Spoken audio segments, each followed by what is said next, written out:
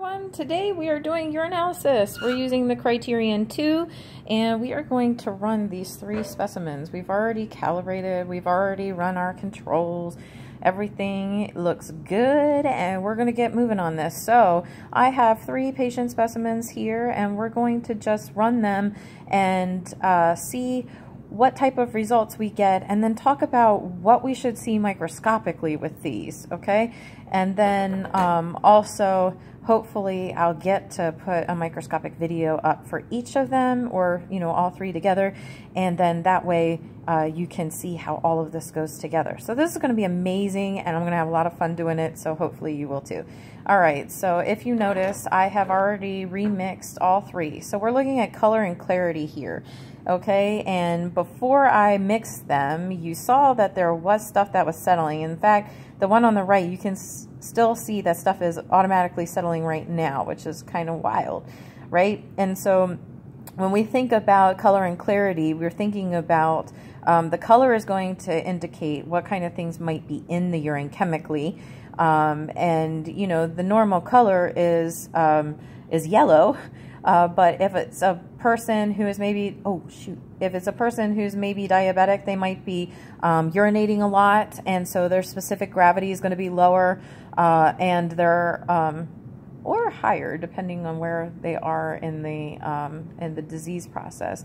Um, but uh, they're going to be urinating a lot, so they're going to have um, uh, possibly really low um, specific gravity. They'll end up having um, they'll end up having really straw colored urine, uh, which means that it really doesn't have any color. It's colorless, and it'll be clear. Uh, whereas these two guys over here, and I'm honestly I can't really tell the the color and clarity. This one looks light yellow, so it's yellow, and it's kind of hazy. There was a couple of things in there, uh, but the labels there are very hard to see. So we can um, see what we see with that. We'll see what the ticker tape says. These two, uh, this one in the middle is turbid.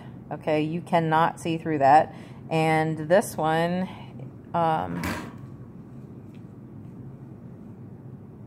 this one has clumps in it. That's gross.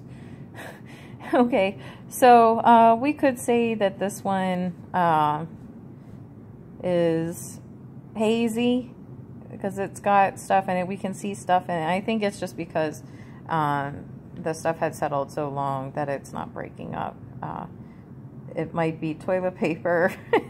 there might be a, a, lot of reasons of why it looks like that. Okay, so uh, what we're going to do next is we'll dip the dipsticks, okay, and put them on, and then, um, you know, we'll see how this goes. So I'm going to try to get this all in view for you.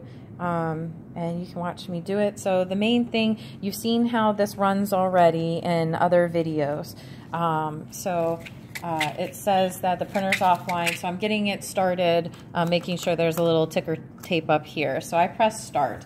All right, now um, this is going to happen very quickly, okay? And between every single one, I'm going to try to make sure that I reclose this because it um, it matters whether you have um, light exposure and also um, you know moisture in this container. It can make uh, the reagent dipsticks deteriorate.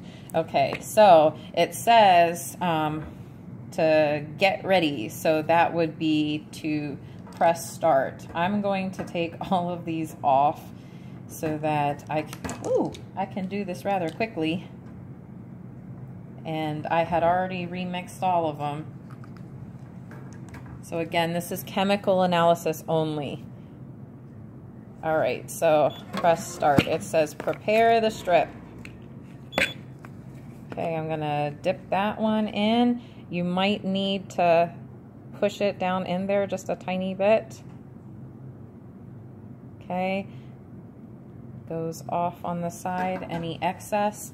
And this one looks pretty crazy because I had to push it down in there. All right, so hopefully it'll take that one and be good. It says inserted. I already inserted it.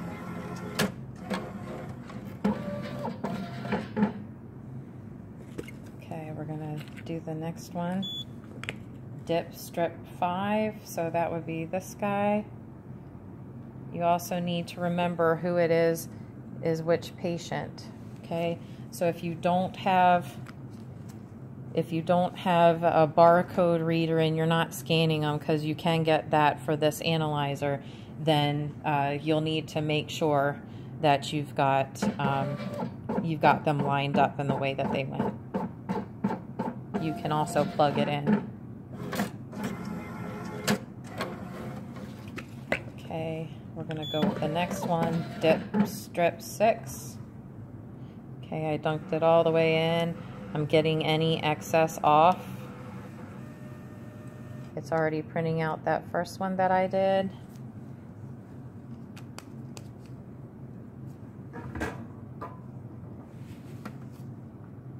Oh, that's nice.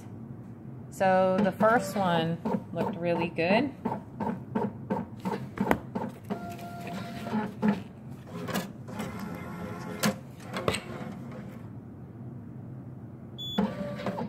I don't have another strip, so I'm just going to let it go.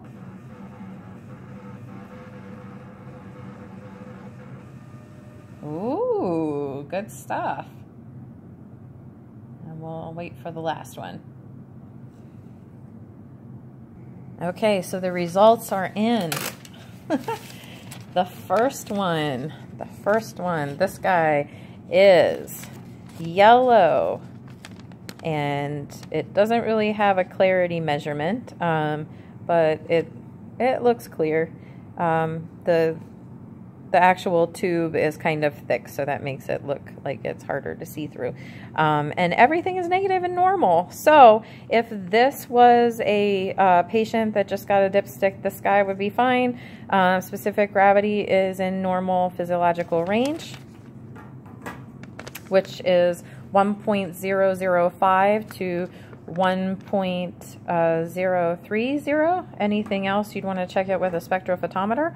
This guy, it says yellow. Again, we have to do the clarity. Um, and specific gravity and everything is good. But protein, there's trace protein. So there might be um, some uh, glomerular damage because there's protein. The dipstick only measures albumin. So there could honestly be a patient that has a protein that's negative, but they have all other kinds of proteins in there um, that aren't albumin, and it won't um, it won't see that or detect it, and so it would need to go to chemistry, um, the actual chemistry bench in the urine. Sorry, not in urinalysis, but um, you know the main chemistry bench of the lab. This one has a isotonic um, specific gravity, which means that the urine is the same specific gravity as the blood, which is crazy. Um, so that means that there isn't, um, that the, the nephron isn't necessarily concentrating the urine. Okay, we have a pH of 9. So as I said earlier with the QC, 9, you're expecting to see some bacteria in this puppy. Okay, um, we said that it was hazy and it's the one that has that crazy weird stuff, you know, settling. Uh, so we'll definitely look at this guy under the under the scope. Um, it has leukocyte esterase of 100, which is very high. Well, it says 1 plus, um, depending on what your clinical facility says. That one says 1 plus. Um, if you look at the dipstick, uh, it has uh, negative trace, 1 plus and 2 plus. All right, um, nitrate is negative, and protein is 500. Holy cow! Definitely some glomerular damage there. Glucose of 50. Wow, that's also um, not good. You shouldn't have any glucose in there. So this patient's probably a di diabetic patient with um, uh, some glomerular damage and they're not concentrating their urine, so they might have nephrotic syndrome um, as noted by the uh, pro protein that's so high. The glucose would be from the um, fact that they're diabetic and leukocyte esterase being 100, um, they have an infection and um, so we're going to take a look at this. Everything else is negative. If the person was in S, uh, diabetic ketoacidosis, they'd have a positive glucose and a positive ketone, which they don't. So um, this just looks like a chronic issue. Okay, so um, I will get these set up on the uh, microscope and we'll take a look at all of them. All right, um, check me out in the next video and I'll see you soon. Thank you. Bye.